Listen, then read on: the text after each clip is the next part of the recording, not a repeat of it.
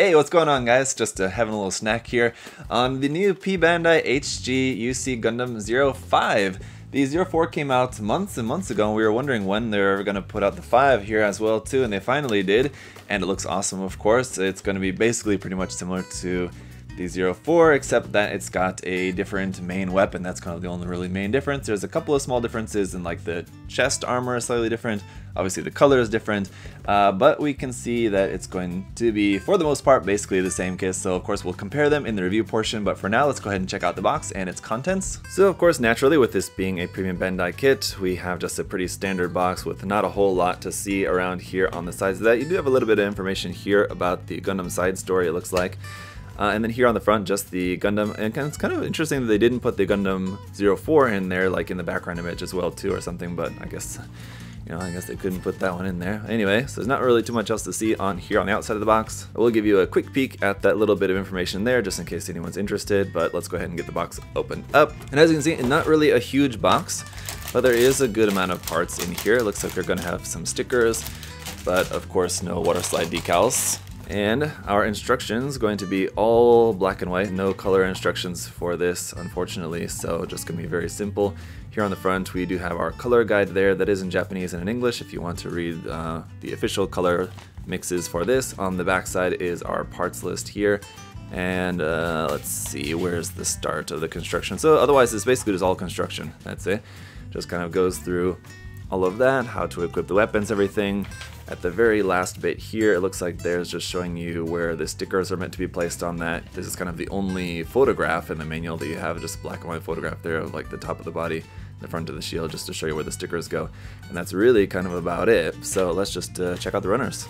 Alright, so we've got some regular stickers, marking stickers there for your main markings for the suit, and you have a couple of options there with the thoroughbred markings and all that. And then you have your pretty large foil sticker sheet here, unfortunately, as we saw with the Gundam 04, you have these big massive stickers for the shield parts.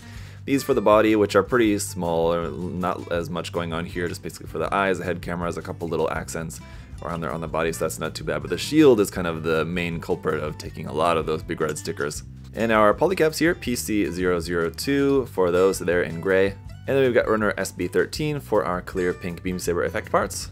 And our A runner here is going to be all of our white armor parts around the arms, legs, backpack, torso, head. Then runner A2 is copy of this section of the runner there. Runner B1 is going to be all of our red parts. Then we do also have runner B2, which is a copy of this half of the runner right here.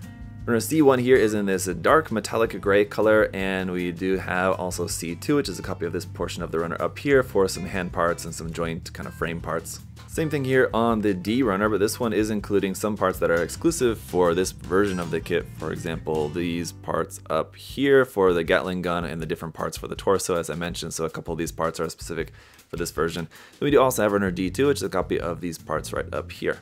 Runner E1 is going to be our yellow accents for the kit, including the V-fin on there, which is in this nice slightly orangish yellow color. And we do also have runner E2 for a copy of this half of the runner. runner G here in white is our shield and tank parts. You can see the shield is very nicely detailed, just unfortunately missing that color separation. And then runner H is in four different colors. You have some light gray down here for the ammo drum. You have uh, kind of medium gray up there for the belt part, which is in a softer plastic. That'll go to the Gatling gun. And then a darker gray over here for some more backpack and weapons parts, back of the shield parts on there for the just main regular beam rifle. And then white here for some more parts of the Gatling gun. So yeah, as you guys can see there, not a really very large box, but there's a lot of parts packed into there. It's a really nice kit. Uh, it's just missing some color separation on the shield, but for the most part, the color separation on this kit is really rather good. Let me go ahead and get this built up, and then we'll take a look and see also how it compares to the Gundam 04. Alright, here is the kit all built up, and I don't know if it's just because I've already built the kit once before, but this kit went together really fast, or maybe I was just in the zone and just kind of banged it out really, really quick to put this one together, but it's a really fun, simple, and I don't want to say simple in that there's not that many parts, but just the, uh, you know, it's pretty, if you're familiar with the design, you can probably put this kit together without any instructions at all uh, you know, a lot of the parts are very easy to recognize and everything. So I guess uh, what I want to say is that it's not simple, but it's designed in a very sensible, logical way. Anyway, like we're very familiar with with a lot of Bandai kits, but uh, this one, anyway, just also follows in that line. And it's a really nice kit, I gotta say. Really nice color separation details on there. For an HG kit, the seam lines are pretty minimal on this. So all in all, it's really nice. It is missing some small little color apps here and there that you'll have to paint in if you want it to be completely color accurate, but again, it's a high grade, so that shouldn't be com coming as too much of a surprise. But let's go ahead and check out all the accessories and everything here. So first off, for the hands, you've just got these two holding hands there for the left and the right, and then you've got a third hand option, which is a trigger finger hand, which is basically just for the rifle. Here is your beam rifle. It's basically just a two halves sandwiched together there, and you have a separate piece for the camera, which will move left and right, and you have a couple of stickers there.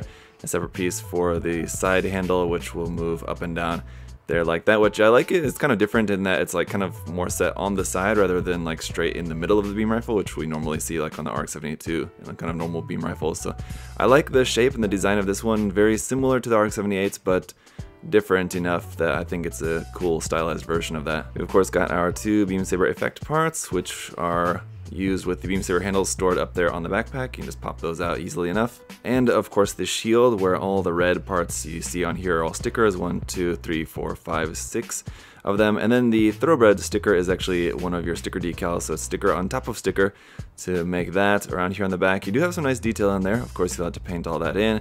And then this uh, looks like it could kind of move on a track there, but it doesn't. It's just fixed in place. Just the shield is connected via a ball joint there, but it can basically just rotate around. You can connect it onto either the back or the side of the arm, so you can choose there.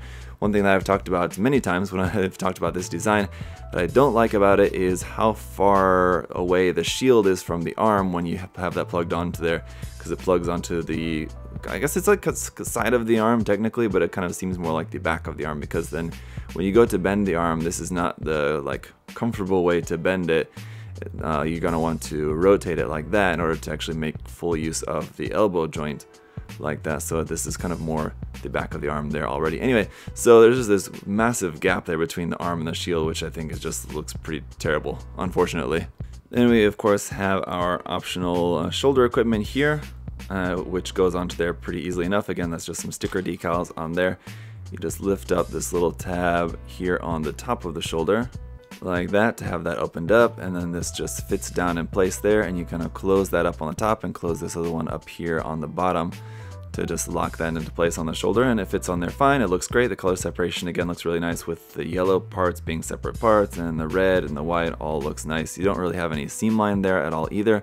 The only seam lines that we really have on the kit here are on the head and then back here on the fuel tanks. Those are just two halves sandwiched together so you got some uh, seam lines there. And I suppose you could count these like on the top of the torso there as well too technically and then a little bit on the beam rifle as you may imagine. And let's see a little bit on the Gatling gun here as well. But anyway here's the Gatling gun with this piece on here which is not necessarily meant to stay on there always. You can remove that if you want. That's just the attachment piece to plug this onto kind of the backpack but all the design of that looks very nice, very similar to the Master Grade. You have a red sticker on here, where on the Master Grade that's an actual separate red piece. So uh, that's just kind of one downside of this HG version, but otherwise the design is pretty much exactly the same.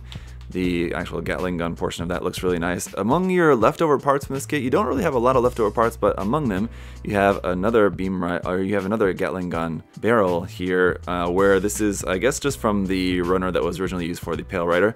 So originally, this came with the Pale Rider space type, and uh, this was just on the same runner, but in this case, for this kit, it's molded in a different color, so they put it onto a different runner, so you just have a leftover uh, Gatling gun barrel. So you could use this for some different custom kit bash or something, so that's not too bad. But anyway, yeah, this is just held in the hand and you have this flexible part which uh, this will plug up into the backpack and that should work pretty well. Uh, unlike the Master Grade version, which is a little bit heavier because 1 100 scale, of course, this is very light, so it shouldn't really give us much weight issues at all. Even the Master Grade, though, I didn't have that much weight issues. Despite its age, it could hold its weapons pretty well. But anyway, it's a really cool design and obviously a big selling point of this kit, and I think, you know, it looks nice. There's a lot of nice detail on there, just a little bit of seam on the top and the bottom, and then that's pretty much it. Otherwise, it's pretty good to go. As for the rest of the stickers, here on the kit we just have ones for the eyes, the head camera there on the front, And on the back, we have the sticker here for the yellow V on the crotch right there. And then down here, down at the bottom of the leg, you have a sticker there, and on the top of the foot, a sticker there as well too. So I mean, it's pretty easy color apps to paint in. If you didn't want to use the stickers and you just prefer to paint those, you shouldn't have too much trouble with that. And I went over all of the articulation in my review of the Gundam 04, but I'll just quickly kind of go through this. Again, here the head can go up nice and far on that, so that's pretty nice, just using uh, that double ball joint polycap in there and then down to there. So you've got plenty of room to move that around. The detail on the head looks really nice as well too. You have those yellow vents on the side being separate parts. And so that looks really good. It's just a matter of just getting rid of the seam line there on the side of the head. In the torso section though, however, unfortunately you don't really have much um, in the way of movement there. You could kind of pull that up off the ball joint a little bit to get a little bit of a ab crunch. But because it's wielding a kind of heavy backpack and a kind of heavy weapon, having this to be, you know, a firm connection there and not getting too floppy or something, I guess is maybe for the best. You have a little bit of rotation there at the midsection as well too. Shoulders will swing out to the front like that, which will be good for a two-handed grip on the weapon, so that's good. The shoulder armor will move up and you can bring the arm up to about 90 degrees that seems to be about the extent of that. Rotation at the top of the shoulder, but then, like I said, you can also rotate, rotate it uh, below the elbow joint as well too for getting a better use of that double joint there in the elbow to get a nice full bend. Otherwise, if you have the arm rotated kind of like normally, then you can only get about 90 degrees like that. So just make sure you pay attention to that. You have the Vulcan uh, barrel there in the, or machine gun barrel there in the side of the arm that you'll have to paint that in, that little detail. Unfortunately, not a separate part. Again, on the Master Grade it is, but because it's a much larger scale, the wrist is just on a ball joint. The front skirts are joined, but you can clip those apart to make them separated if you prefer. But some nice color separation there, again with the yellow and uh, kind of dark gray parts. The side skirts will move up and down a little bit. The back skirt is just fixed and nothing moves on that. On the Master Grade, that's a little uh, kind of tab in the center that opens up but on this one it doesn't do anything. The backpack, nothing really moves on this. The thruster bells don't really move. This part doesn't necessarily move, so it's all just kind of fixed in place there. But again, it looks really nice. It's just missing some little bits of color application on there, basically for like these verniers there on the top and these details right in there. The hip joint will rock side to side up in there. Our legs can come out pretty far, out wide to the side, so no problems there. You can bring that up pretty far to the front as well too. You've got some rotation there at the top of the leg and a double joint here for the knee for a really nice full bend. The ankle joint is also pretty nice. It's just a basic ankle joint, but you've got a pretty good gap there, maybe more so than some would like. I could understand that, but that should give you really nice uh, bend side to side. The ankle armor, of course, moves up and down on its own. You can move the foot forward to there, back to there, all very nice pretty much full detail up underneath the foot, except for a little bit of hollow gap there at the toe, unfortunately. Then around here on the back leg, again, some nice detail there. But uh, that's it. So overall, the articulation, very nice on this kit.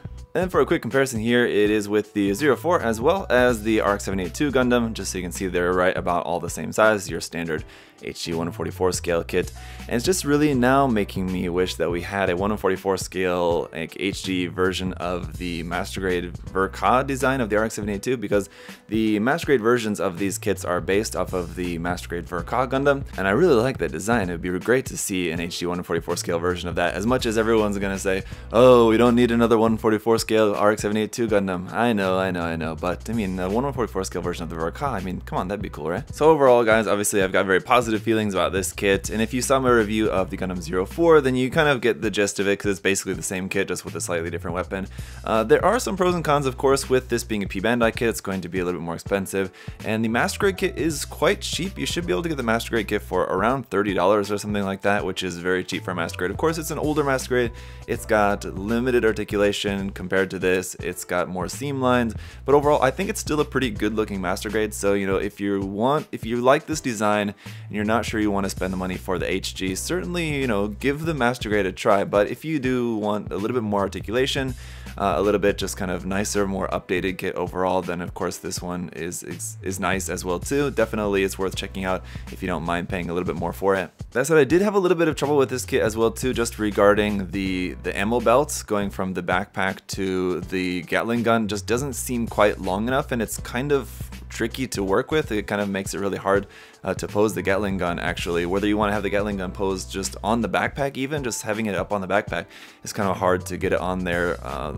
just because of that uh, ammo belt and then getting it to be held in the hand. It's kind of tricky as well too and even doing a two-handed grip. I thought that would maybe give it a little bit uh, better grip on that but it's just kind of has a hard time holding on to that because of the ammo belt just being not quite long enough. So that's a little bit unfortunate.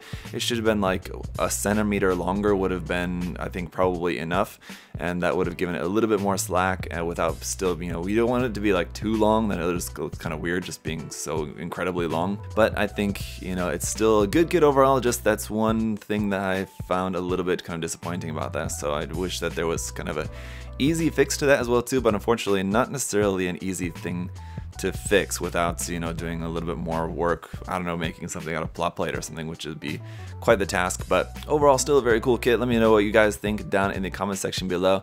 As always, guys, big thank you to USA Gundam Store for making it all possible. Check out the link to USA Gundam Store down in the video description below, as well as my coupon code there that you guys can use to save 10% off everything there on the site. So check that out. Thank you all for your support as well too, liking the video, commenting, subscribing, and uh, just watching the video as well too. So really appreciate it, you guys. Until next time, I hope you're all having a great day. I'll see y'all later. Bye bye.